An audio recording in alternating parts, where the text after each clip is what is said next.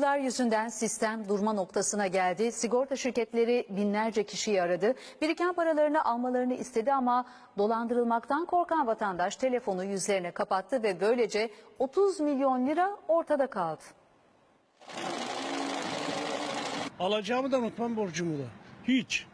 Milimetre. Parasını unutanların sayısı binleri geçti. Sigorta şirketleri gelin tahsil edin diyor ama kimseyi inandıramıyor. Bayram tatili başlayınca o paralar güvence hesabına alınacak, daha sonra devlete kalacak. Eğer zamanında başvuru yapmazlarsa e, bu para hazineye kalıyor. Dolandırıcı o kadar arttı ki vatandaş da bir yerde haklı. Yıllarca ufak ufak ödenen hayat sigortaları günü geldiğinde ya sigorta sahibine ya da ölmüşse varislerine geri ödenebiliyor. Ancak bunu unutanların sayısı çok fazla. Sadece bu yıl 30 milyon lira para hazineye gitmeyi bekliyor. Vatandaşlar telefonla arandığı için dolandırıldığını düşünüyor. Sigorta firmaları ise onları ikna etmeye çalışıyor.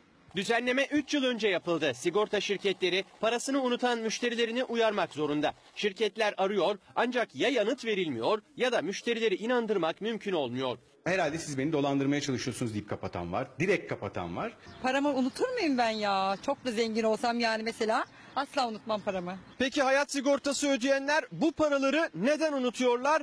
Çünkü sigortalar 10 yıl aşkın bir süre boyunca ödendiği için bu uzun süre içerisinde kimi zaman unutanlar olabiliyor. İkincisi ise ölen kişinin varislerinin böyle bir sigortadan haberdar olmaması. Kızım git al dedim. Hani herhangi bir şey olursa, ölürsem haberin olsun bilgi verdim yani işte unutmam. Ben böyle bir sigorta aldım ve varis olarak da e, bana bir şey bir şey olursa sen bu parayı şu kadarlık miktarı şu sigorta şirketinden ve, ve aracı kurumun isminde bildirerek onu bilgilendirmesi çok önemli. Çünkü varisler böyle bir sigortanın olduğunu bilmedikleri için e, müracaat da etmiyorlar. Paralar kalıyor içeride. Hayat sigortasından alacağını tahsil etmek isteyen kişi ödemelerini bitirdikten sonra 10 yıl içinde sigorta firmasına başvurması gerekiyor. Vefat eden yakınlarının TC kimlik numaralarını vererek bir tazminat haklarının olup olmadıklarını öğrenebilirler.